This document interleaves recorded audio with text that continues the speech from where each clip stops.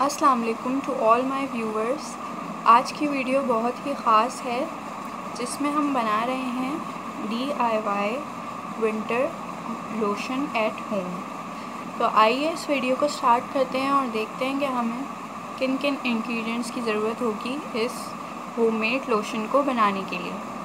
तो हमें चाहिए होगा एलोवेरा जेल आप लोग मार्केट वाला लेंगे, क्योंकि अगर हम ओरिजिनल लेंगे तो वो स्टोर करना मुश्किल होता है, वो बहुत जल्दी ख़राब हो जाता है। और हम लेंगे ग्लिसरीन और उस, हमें चाहिए होगा कोकोनट ऑयल और एक विटामिन ई का कैप्सूल। चलिए स्टार्ट करते हैं इसको बनाना। हमें एक बाउल चाहिए और एक स्पून चाहिए।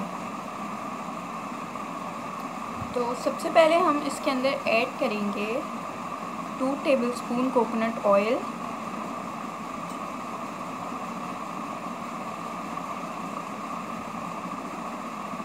one and two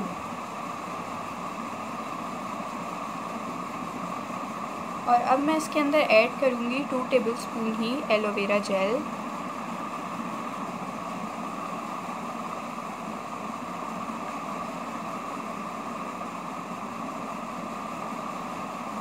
one tablespoon aloe vera gel चला गया।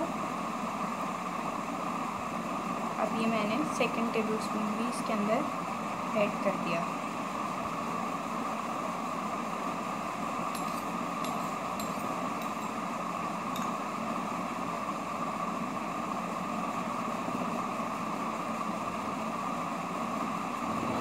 अब मैं इसमें ऐड कर रही हूँ one tablespoon glycerine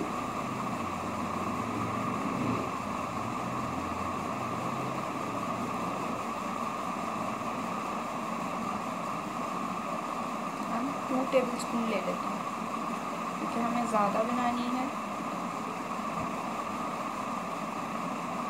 हमने two tablespoon glycerine add कर लिया।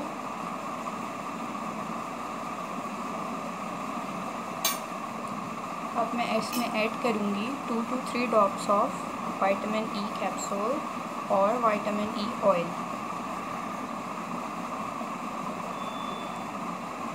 vitamin E capsule add कर रही हूँ मैं इसके अंदर टू और थ्री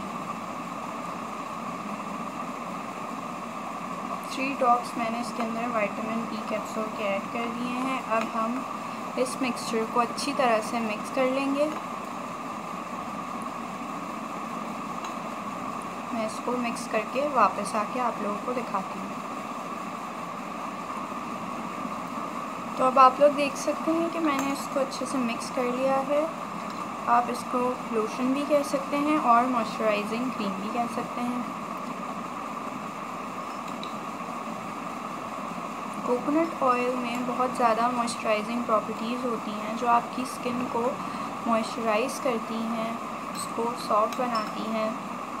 और हमने इसके अंदर ऐड किया है ग्लिसरीन जो आपकी स्किन को सॉफ्ट और शाइनी बनाता है। और आपकी स्किन को बहुत अच्छे से मॉइस्चराइज़ करता है। और इसमें हमने विटामिन ई का कैप्सूल ऐड किया है। वो आपकी स्किन को मॉइस्चराइज़ भी करेगा और विटामिन ई कैप्सूल में बहुत ज़्यादा एंटी एजिंग प्रॉपर्टीज़ होती हैं जो आप, जो कि आपकी स्किन को ओल्ड होने से बचाएगी। आपकी स्किन पे जो झुरियाँ पड़ जाती हैं रिंकल्स उससे बचाएगी। आप लोगों को अभी ये लोशन और क्रीम जो है एक कंटेनर में ऐड कर लेना है। आप लोग कोई भी साफ़ सुथरा सा कंटेनर ले लेंगे और उसके अंदर ये क्रीम जो है वो ऐड कर लेंगे। ध्यान रहे, ये क्रीम जो है और लोशन ये आपके हैंड्स और फीट के लिए ये सिर्फ़ आप अपने हैंड्स और फीट पर ही अप्लाई कर सकते हैं।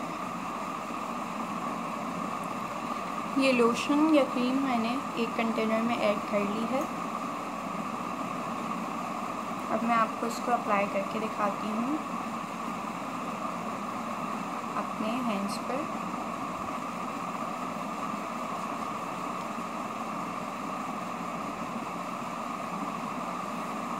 लोग देख सकते हैं ये कितनी ज़्यादा मॉइस्चराइजिंग है और इससे हाथ कितने शाइनी और सॉफ्ट हो गए हैं। बहुत ज़्यादा मॉइस्चराइजिंग हो गए हैं मेरे हाथ। आप लोग इस क्रीम को ज़रूर ट्राई कीजिएगा और मुझे रिव्यू में बताइएगा कि आप लोगों को ये होम मेड ईजी सा डी लोशन और मॉइस्चराइजिंग क्रीम कैसी लगी। अगर आप लोगों को ये वीडियो अच्छी लगी तो मेरा चैनल सब्सक्राइब कर दीजिए, मेरी वीडियो को लाइक कर दीजिए और उसको शेयर कर दीजिए। वापस आऊँगी मैं और बहुत ही अच्छी रेमेडीज़ के साथ। जब तक के लिए अल्लाह हाफिज़।